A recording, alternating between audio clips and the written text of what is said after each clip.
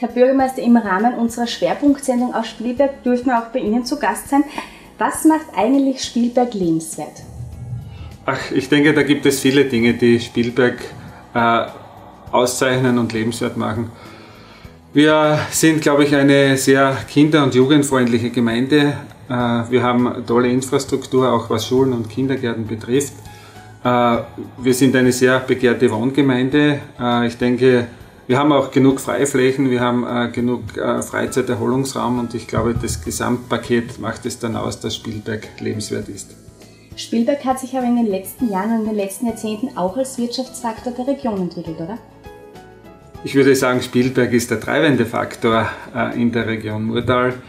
Wir haben natürlich das Glück mit Projekt Spielberg, mit dem Red Bull Ring, mit den tollen Veranstaltungen, äh, die natürlich äh, viel äh, Tourismus bringen, natürlich auch Wertschöpfung in die Region und das wirkt sich aus und Spielberg an sich ist auch eine interessante und attraktive Standortgemeinde für Wirtschaftsbetriebe, für Unternehmerinnen und Unternehmer, zeigt der Ausbau der Firma KPG Sattler und in naher Zukunft wird dann weiteres Positives hören über Betriebsansiedelung in unserer Gemeinde.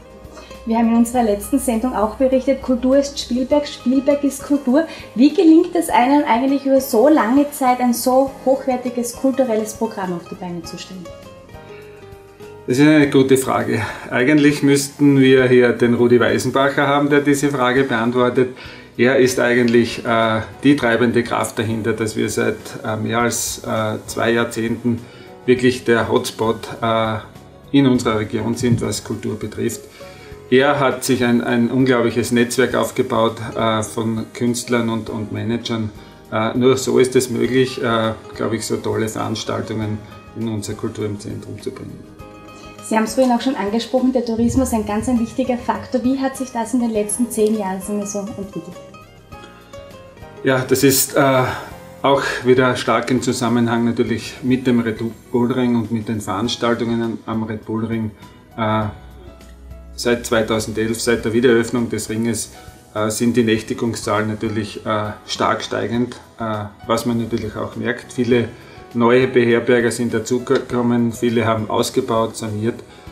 Aber auch abseits der Veranstaltungen am Red Bull Ring äh, tut sich vieles. Unser Tourismusverband am Spielberg äh, leistet ja wirklich ausgezeichnete Arbeit, äh, auch zwischen den Großveranstaltungen unseren Gästen ein tolles Programm zu bieten eigentlich alles positive Prognosen. Wohin wird sich die Stadt entwickeln? Was sind Ihre Visionen für Ihre Stadt?